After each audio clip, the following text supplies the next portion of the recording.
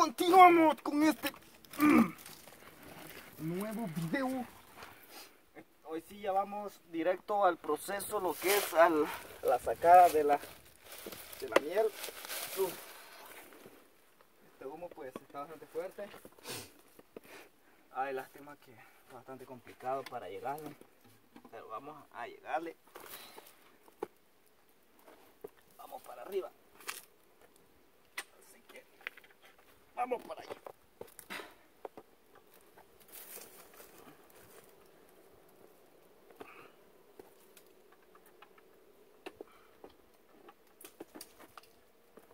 Sí, tiene las tapas al fondo, ahí adentro. Me voy a arriesgar así sin nada de nada de taparme la cara. A ver qué tal enojadas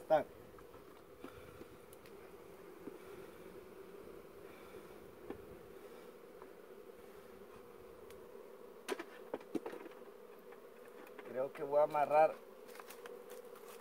esta no está bastante fuerte, pero sí me va a servir de bastante para sostenerme un poquito. Esta sí está un poco potente. Creo que la voy a usar acá.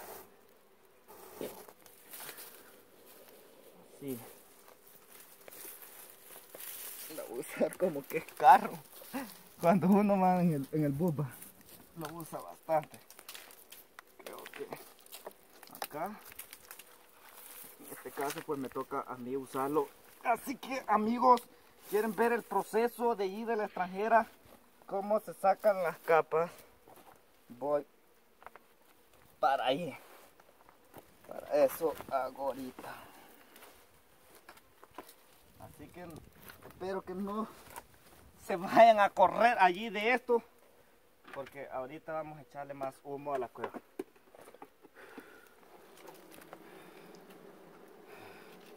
Ouch.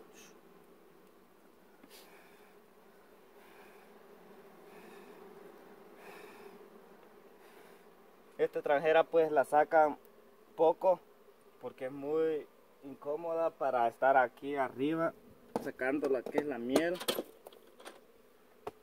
En este caso yo me estoy arriesgando un poco. Acá. Si tiene unas capitas allá al fondo. Bastante grandes por cierto. Ah. como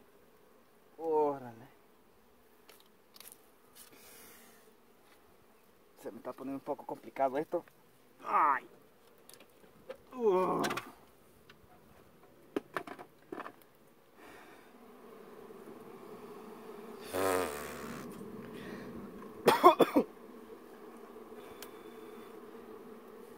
Mire Mari Hernández, yo sé que a la Mari Hernández le gusta la miel, pero lastimosamente no le llegó y lo siento.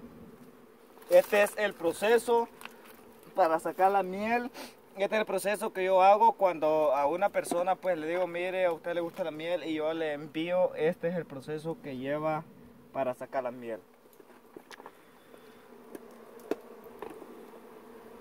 Es un enjambre, no es tan grande, pero tiene ah, la suficiente avispa. Vamos a ver. Vamos Oh. Creo que en este caso me va a tocar que como dicen aquello, cuevear. Porque la, la cueva es muy inclinada. Vamos a poner lo que es la bolsa acá. Para sacar los pedacitos de miel que tiene. En este caso pues se usan lo que son las cubetas eh, o cualquier otra cosa que sea plástica que dure más porque la bolsa es muy sensible y se puede romper en cualquier momento.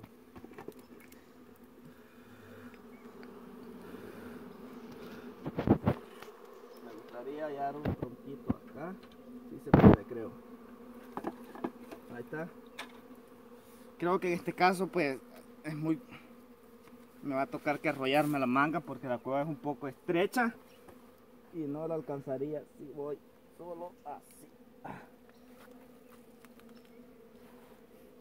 ¡Au!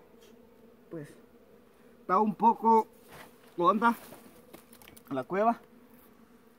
Como pueden ver, tengo lo que es el pedacito de miel. ¡Oh! Lo ha logrado. no, espero que no me haya causado un poco de mal allí el grito. Pero lo que pueden observar acá, ya la, capita ya la están empezando a sellar. Y mire, eh, esta es una ricura. Esta es la primera capita que tiene ahí la extranjera. Así que voy por otra, voy por otra. Pero le voy a echar un poquito más de humo. Porque se está llenando, la capa se está volviendo a llenar de avispa. Así que a echarle humo.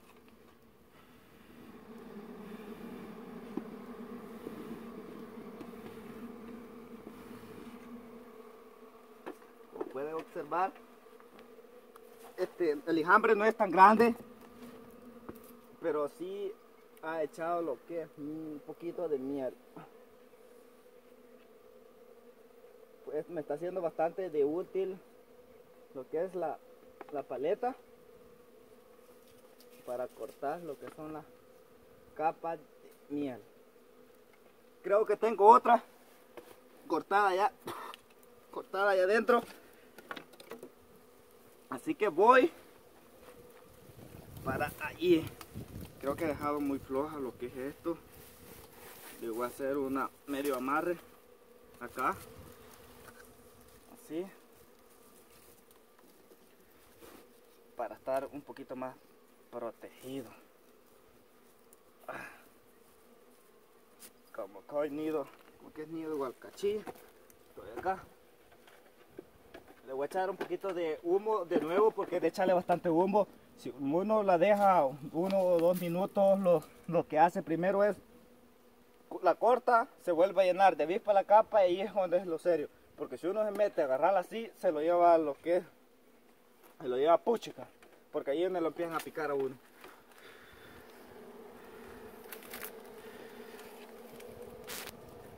Así que creo que vamos por otra. Así que sígame, sígame, sígame. Ah, voy. Está un poco honda la cueva. Voy. Vengo, vengo. Está un poco estrecha. Buenísima, por cierto. Oh. Como pueden observar, amigos, suscriptores y suscriptoras, niños y grandes, chiquitos y abuelos. Mire, mire, mire. Lo que es la miel de extranjera. Como pueden observar, pues esta capa ya casi la tienen selladita. Acá igual es llena de los dos lados. Tiene una división a mediación, pero acá llena, acá llena. Pero aquí aún le faltaba que llenar. Creo que la vamos a echar aquí y vamos por otro pedazo más.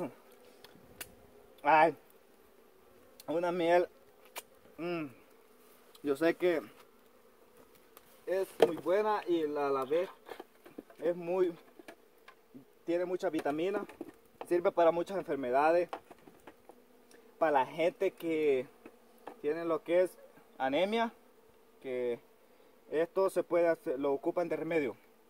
Le echan lo que es una bueno hasta recetada una, le echan una cerveza a media botella de miel, la revuelven y todas las mañanas en ayuna se tienen que estar tomando lo que son dos cucharadas diarias y eso pues en vuelta de un mes o dos meses pues está bien curada la persona pero con miel y eso.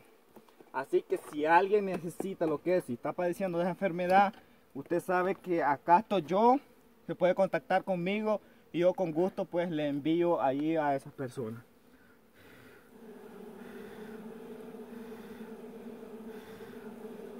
y a vivir otra experiencia de esta.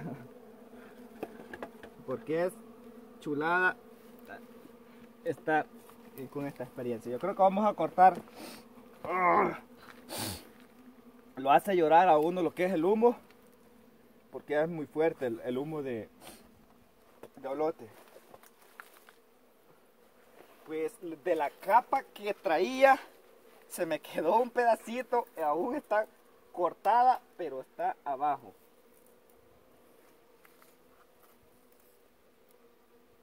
Se me, se me había quedado todavía de la capa que había cortado.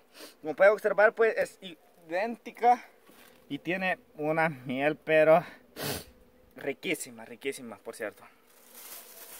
Y vamos por otra capa más. Así que vamos. Creo que vamos por esta. Vamos.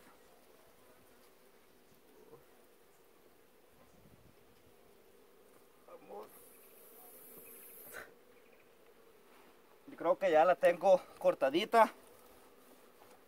Y vamos a echar más humo.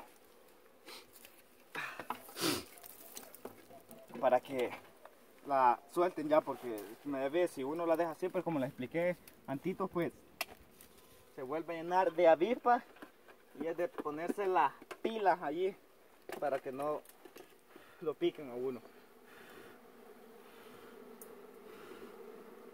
como pueden ver igual eh, ya el humo se me está apagando un poco.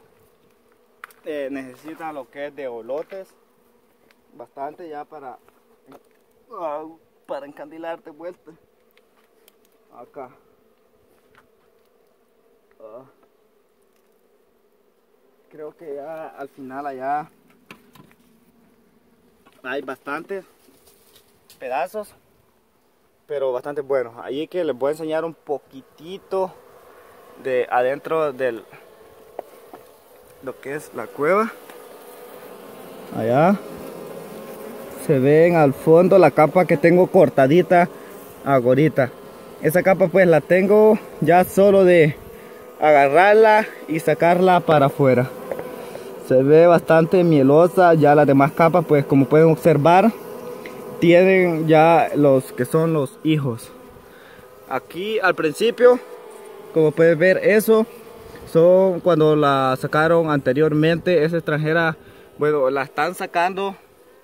Lo normal es sacarla cada 15 bueno hay hay personas que la sacan cada 15 días o cada mes pero lo más recomendable es 20 días porque si la dejas más de 20 días eh, se vuelve a llenar lo que es de hijo la capa y entonces sí ya no tiene miel como ha pasado con esta no sé si la voy a alcanzar pero voy por ella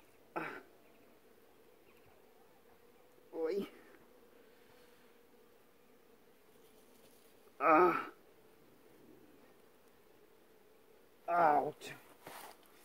Son bastante bravas. Pero medio me tocó. No, este es sí es suerte. Porque la verdad hay que tener bastante suerte. Este hambre es pequeño, como les expliqué. No es de muchas avispas. Pero los que tienen abejero es como aquel que veníamos allá. Que no se alcanzó, yo creo que la cámara no lo captó pero las avispas sí es cuando me picó una acá. Así que vamos a ver si trae esta capa lo que es miel también. Vamos. Oh, sí, sí, sí, Necesito lo que es el, el fierro. Lo dejé allá. Pero creo que me va a tocar que hacerlo con esta navaja que me va a ser de mucha utilidad sé ni cómo acomodarme. Creo que he hecho los nudos mal. Está bien pero está un poquito enojada. Como pueden observar, esto lo de acá es hijo. Ya esto ya bueno, no son hijos, hijos, todavía están convertidos en gusanitos. Pero esto sí es miel, acá, acá. Esto es lo que le vamos a cortar. Si la demás capa tienen, pues entonces sí vamos a seguir sacándola. Pero si ya no tiene, pues ya vamos a dejar allí a esta extranjera que, que ya haga lo, lo de ella. Porque no podemos estarla sacando con los hijos porque tenemos que dejar que se reproduzca ella también. No le vamos a quitar toda la miel. Porque mi hermano, él ha echado unas extranjeras a, un, a unos julones porque él hace los julones, las echa ya en el tiempo que hay miel. Él solo llega, digamos que está en la casa, solo le dice a la esposa de él, voy a sacar miel, solo se va, agarra lo que es el julón y se va a sacar miel, pero él ya las tiene en unos cajones. Ya ese tiene, ha echado este año, ha hecho tres, no, dos, perdón, y va a echar otra que con esa van a tres. Así que después, pues ojalá y algún día se me dé la oportunidad de ir allí y lo voy a grabar a él para que vean cómo se hace allá cuando están en los culones. Como pueden observar, pues esto está bastante mieludo. Que se come, esta miel es bastante comestible con pan francés y para la enfermedad que le venía explicando allí. Buenísima, por cierto. Yo sé que se les antoja a los amigos suscriptores esta miel de extranjera creo que vamos a proseguir ahí en el proceso a ver si tiene más miel adentro. Así que si no quieren despegarse de ahí y seguir viendo lo demás no se pierdan el próximo video y nos vemos en el próximo video